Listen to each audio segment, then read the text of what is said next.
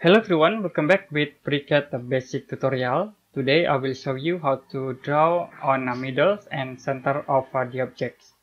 First I will create new drawings and you can click uh, create body, create sketch. I will choose a top plane. For example, I will draw rectangle in here.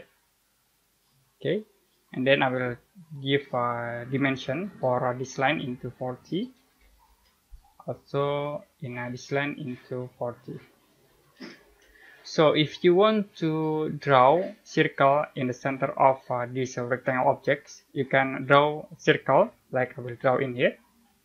Okay we can set for radius into 10 the next you can use uh, these constraints.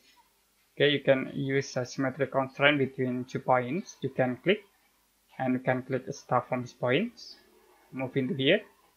The next you can uh, click in middle center of a large circle. So it will be moved into center of uh, these rectangle objects. Okay? Undo. If you want to move uh, into middle of uh, this line you also can use uh, this constraint okay? You can click start from this point and click in here. The next you can click in uh, center of uh, the circle. So it will be moved into middle of uh, this line objects okay enough today for FreeCAD basic tutorial how to move objects into middle or center.